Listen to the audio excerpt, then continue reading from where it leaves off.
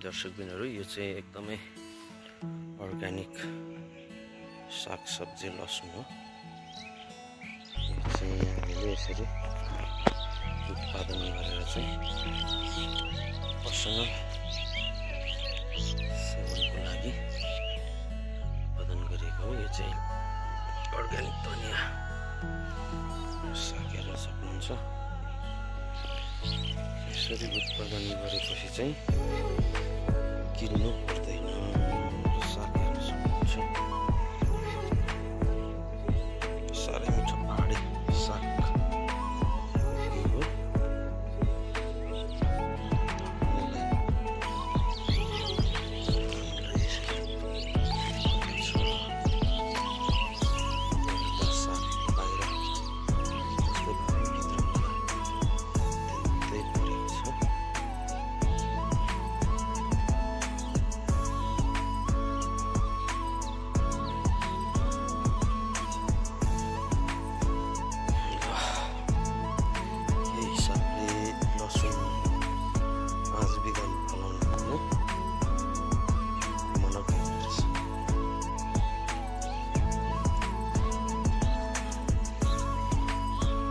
त्यसको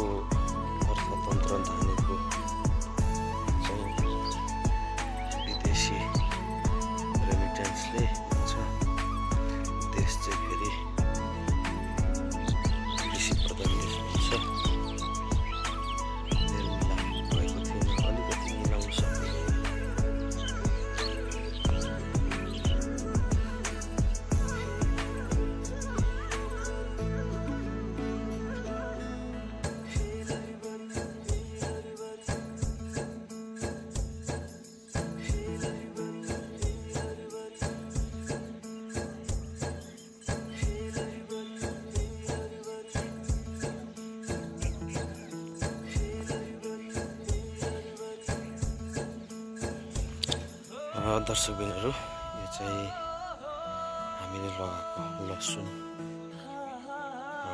साग धनियाँ। यो होली खाली भएको होलीहरू बेबारिसे जग्गाहरू चाहिँ यसरी सबै सरसफाइ गरेर